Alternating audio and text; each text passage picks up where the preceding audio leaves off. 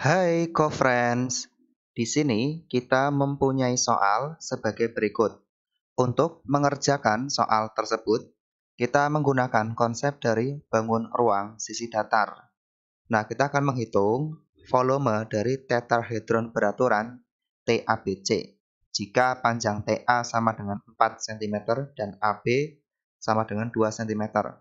Nah, pertama kita buat di sini untuk tetrahedron T ABC. Nah, diketahui panjang TA itu sama dengan 4 cm. Kemudian panjang dari AB adalah 2 cm. Nah, sisi AB panjangnya sama dengan sisi BC, yaitu ini juga 2 cm. Kemudian panjangnya sama dengan sisi AC, yaitu ini juga 2 cm. Nah, kita misalkan di sini panjang dari sisi AB yaitu A. Nah, maka untuk rumus volume dari tetrahedron tersebut adalah A pangkat 3 per 6 akar 2. Sehingga kalau kita masukkan nilai dari A, yaitu 2 cm, nah maka volumenya adalah 2 pangkat 3, kemudian dibagi dengan 6 akar 2. Nah, kita peroleh 2 pangkat 3 adalah 8, maka 8 per 6 akar 2, nah maka ini akan sama dengan 4 per 3 akar 2.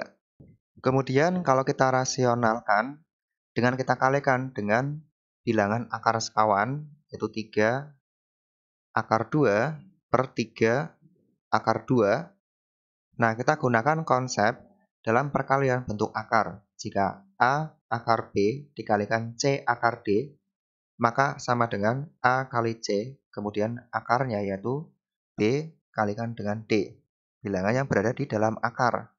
Nah, sehingga ini sama dengan 4 kali 3 itu kan 12. 12 akar 2 per 3 kali 3 itu kan 9. Kemudian akar 2 dikalikan akar 2 itu kan 2. Nah, 9 kali 2 itu kan 18.